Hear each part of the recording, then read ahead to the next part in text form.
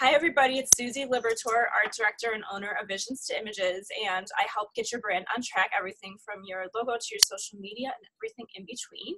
Um, and I'm here interviewing Marie Mason today with CM Virtual Assistance Agency, and she helps um, do VA work for people who have webinars and are launching. So I just want her to step in and tell us a little bit about you. Awesome. So I appreciate that.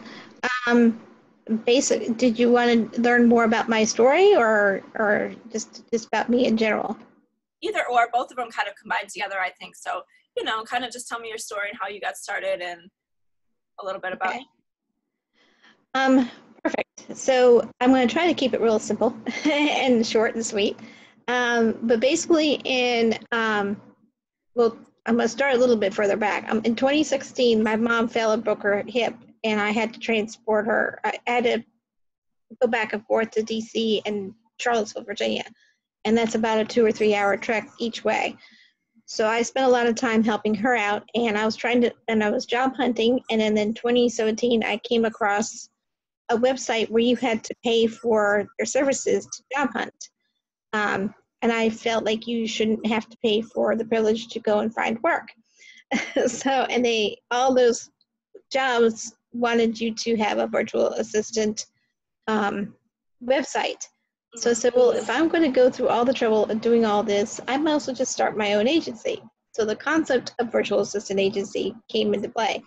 I had no idea what that was, so I had to do a lot of research. yeah, yep, that's so true. Yes.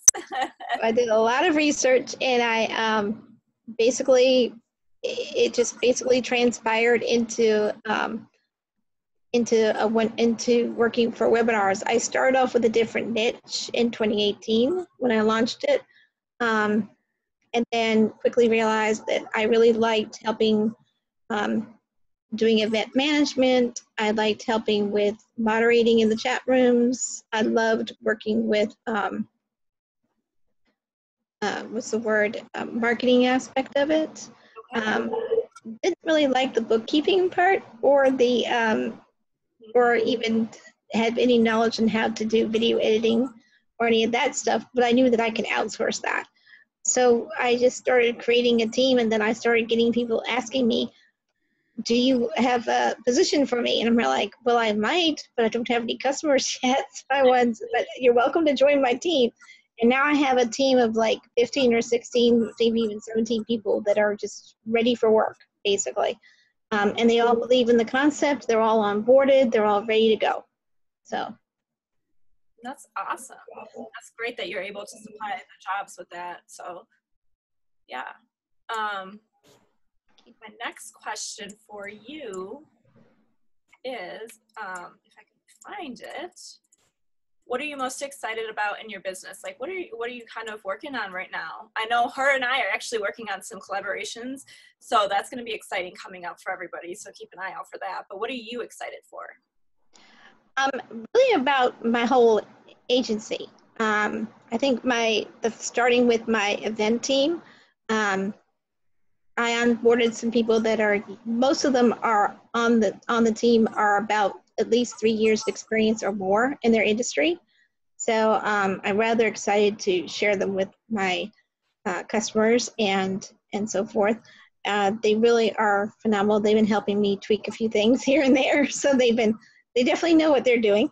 Um, we basically offer customized services packages, and um, basically what that means is um, it's it's not to negotiate the prices but more of if they need a specific uh, service and they might not want something else, then they can mix and match the services to customize to work for their particular webinar because not everybody is going to need a bookkeeper or video editor, but they might need a marketer or in a moderator, but they may not need a manager. So it's it's something where they can pick and choose how they want to design it um, we also are excited about our done for you packages and templates um, and so forth. So there's some like for email marketing and blog posts, there's some templates they can use and follow that method. method.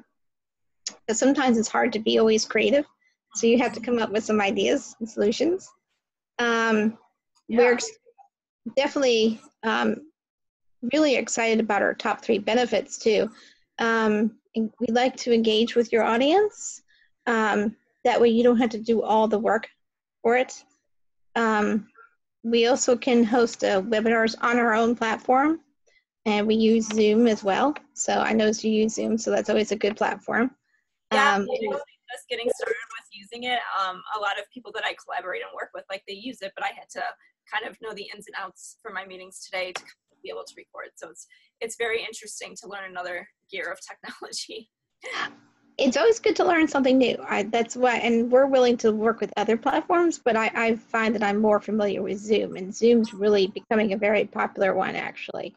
Mm-hmm. Um, it's head and shoulders above a lot of others. So, um, but we also do offer um, personalized virtual event management.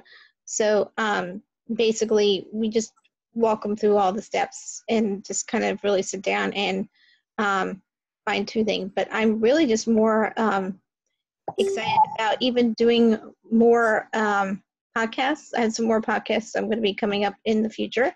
Um, both for showing casing our agency and services, but also I'm going to be doing some podcasts for other different groups that have asked me to do that too. So, and I might be doing some training um, in November for a virtual assistant group that I, I haven't heard that, but I've been I've been asked. So, um, yeah, there's a lot of good things. Yeah, that sounds like you're going to be busy.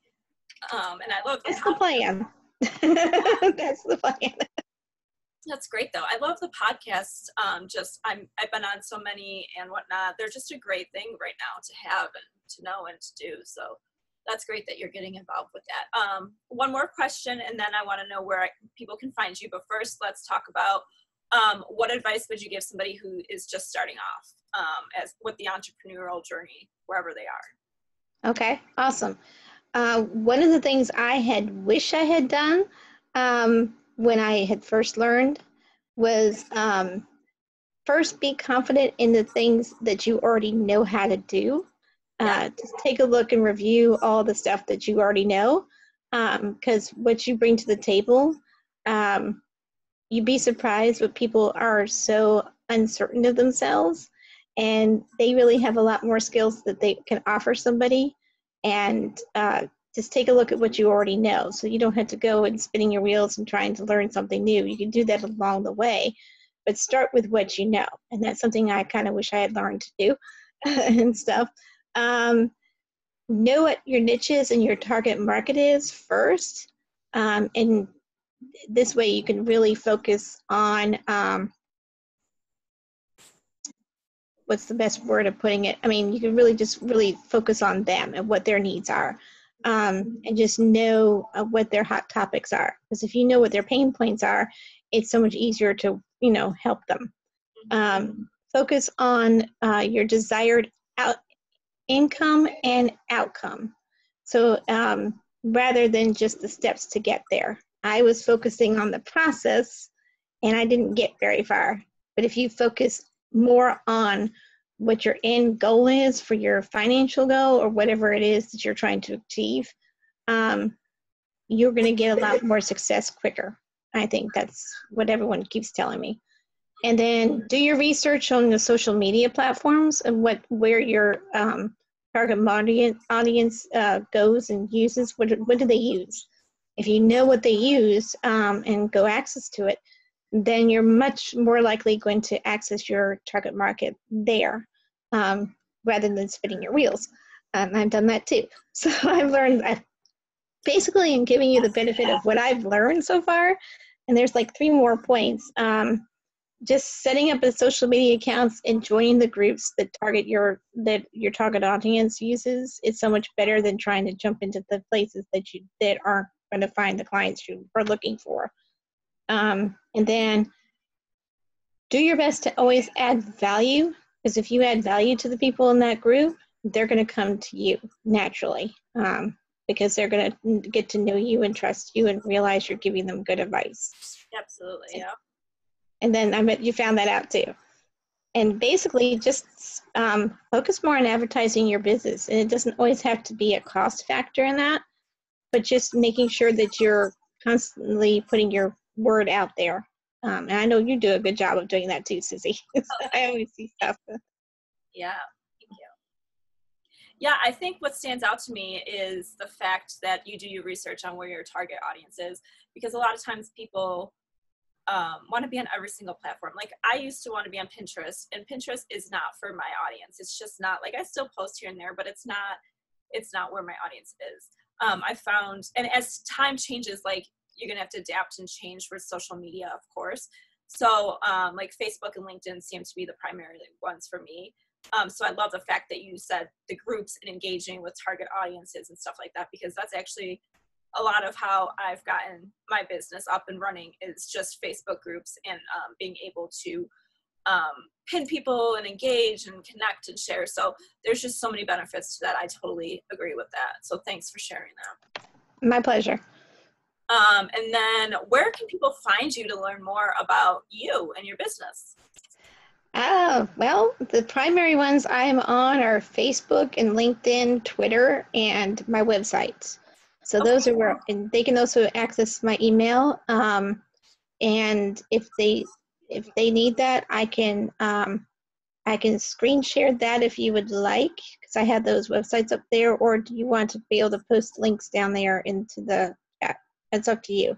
Yeah, so I'll be able to post the links um, into the little information. So I'll probably do the website and then like one or two other ones. So they'll be able to find you um, that way as well. But I just wanted to see if there was um, a specific way that they could find you on here. Yeah, perfect. I'm on other things like Pinterest and Alignable, but like you, I found that Facebook and LinkedIn are really where my I have had very little traction on on Twitter, and yeah. so I really spend more of my time on Facebook and LinkedIn. Agreed, and I feel like that's just yes, yes. We're finding the common grounds, um, so that's awesome. Everybody else finds the common grounds too, watching this because you know we've been in through in and out of this you know, so we know the ins and outs. Um, exactly. Anything else you'd like to share?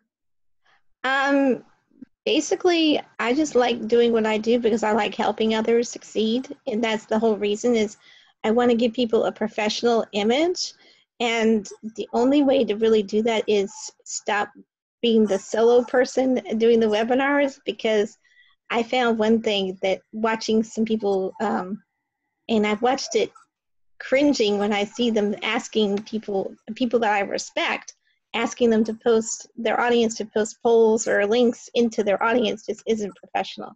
So it's much more better if you would sit there and either plan ahead with uh, an event moderator or have a manager help you do the same thing. Um, just because you want to get your give your best foot foot forward and your image is everything so if you're sitting there and posting all that yourself and forgetting it, you know, what you did the previous day and asking someone to go look for it, it doesn't look make you look professional.